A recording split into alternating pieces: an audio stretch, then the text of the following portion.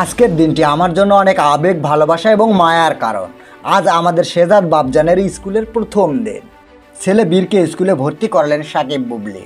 ঢাকার সেরা English medium school আইএসডিতে ভর্তি করানোর পর চিত্রনায়িকা বুবলি লিখেছেন এখনও মনে হয় এই তো সেদিন তুমি পৃথিবীতে এলে। হাঁটি হাঁটি পা পা করে আস্তে আস্তে বড় হচ্ছ।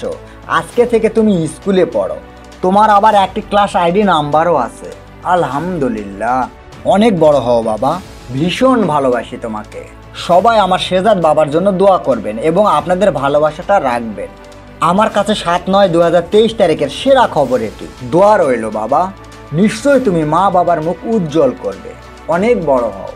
একই স্কুলে পড়ে সাকিব অবুর ছেলে জয়, আব্রাহাম খান জয়।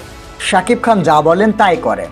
কিছুদিন আগে আব্রাহাম খান জয়কে সুন্দর মেমোরি উপহার দিয়েছেন।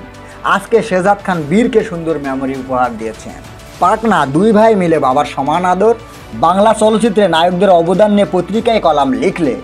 দুইজন নায়ককে সবার ঊর্ধ্বে রেখে কলাম লেখা উচিত।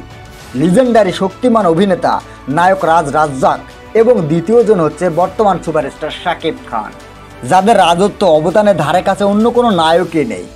জীবিত থেকেই বছরের পর বছর রাজত্ব করেছেন এনারা।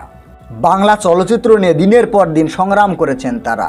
রাজ্জাক ও শাকিব খান বাংলা চলচ্চিত্রের অপর নাম।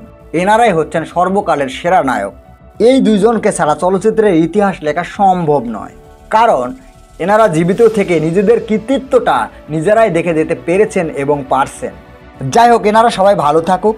দুটো বিয়ে কি মানুষ করে না? দুটো সংসার কি মানুষের থাকে না? আর শাকিব খান তো একজন স্টার, তার দুটো পরিবার চালানোর সামর্থ্য আছে। এটাই ভালো হয়েছে। কাউকে কষ্ট না দিয়ে সবাইকে হ্যাপি রাখা।